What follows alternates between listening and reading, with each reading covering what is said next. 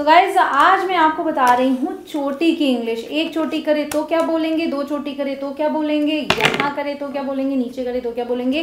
तो देखिए, अगर आप एक चोटी बनाते हैं इस तरीके से तो इसे बोला जाता है पोनी टेल ठीक है पोनी टेल इसलिए क्योंकि पोनी जो होता है, वो घोड़े के बेबी को बोलते हैं और उसकी पूंछ के जैसी ये चोटी दिखती है। शायद इसलिए इसका नाम पोनी टेल रखा गया है।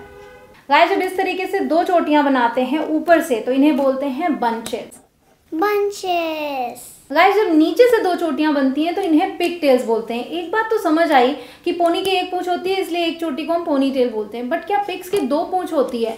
आपको क्या लगता है? मुझे कमेंट सेक्शन में लिख के ज़रूर बताइएगा। Like subscribe and share